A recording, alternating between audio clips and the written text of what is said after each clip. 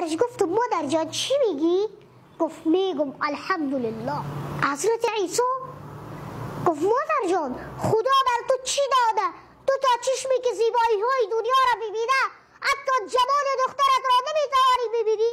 گفت ای تو که هستی؟ گفت من عیسی پیامبر عیسی هستم. گفت گفت ای عیسی من شکر این را می‌کشم که الله به من زبان داده که یادش را یادش را بکنم من شکر این را می‌کشم که الله به من زبان داده را بکنم تشکر از توجهتون ماشاءالله.